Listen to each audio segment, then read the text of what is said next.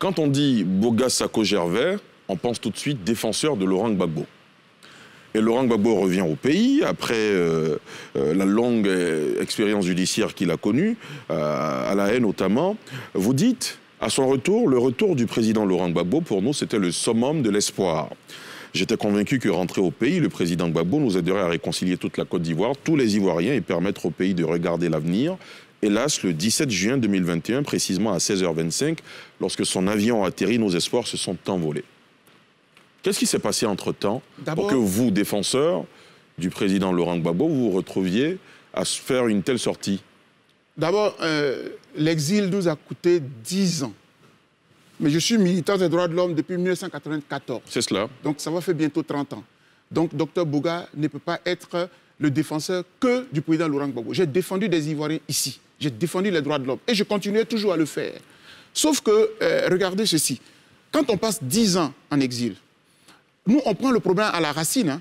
On estime que euh, la Côte d'Ivoire pouvait être mieux dirigée, pouvait être mieux gouvernée si on tenait compte de tous les principes des droits de l'homme, si on changeait la commission électorale indépendante, si on mettait tout à plat, et que le meilleur candidat, bien élu par les Ivoiriens, dirigeait la Côte d'Ivoire. C'était ça notre rêve. Et on a défendu quelqu'un. Et moi, j'estime que quand on arrive au pays, il avait maintenant la position de voir, par exemple, avec le président euh, Henri Conan Bédier, qui est de l'opposition, comme lui, et puis ensemble, ils allaient se concerter, rencontrer le chef de l'État pour dire, bon, on s'est battu, maintenant ça suffit, mettons en place les canevas pour qu'on aille de l'avant. Mais dès que le président a atterri, on a dévié, on a laissé les problèmes fondamentaux de la République, de notre combat en fait. On a laissé ça pour parler d'autres choses. Et ça, moi, je ne peux pas. Je peux pas avoir passé dix ans de ma vie, de ma carrière. Et puis, au moment où on va maintenant faire face, on est, on, est rentré au pays, M. Ouattara est au pays. C'est-à-dire, on l'a critiqué à l'extérieur. Maintenant, Dieu merci, il a accepté que nos droits de retourner dans notre pays soient respectés. On vient, on le trouve. Maintenant, c'est maintenant il faut lui parler pour dire, bon, il y a des prisonniers. Est-ce qu'on ne peut pas tourner la page pour aller de l'avant? Non. Depuis pratiquement trois mois, quatre mois, on est dans d'autres guéguerres.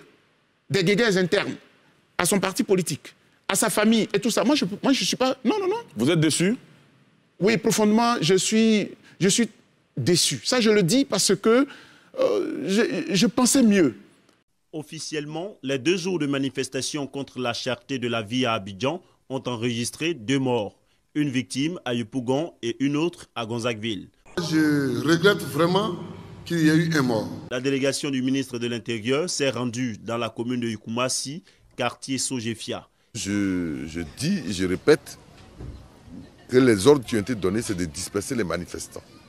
Je prends l'engagement qu'on va mener les enquêtes pour trouver celui qui a fait usage de son arme. Des pauvres femmes qui sont sorties pour dire qu'elles ont faim, avec une fourchette et une assiette, on a tiré sur eux.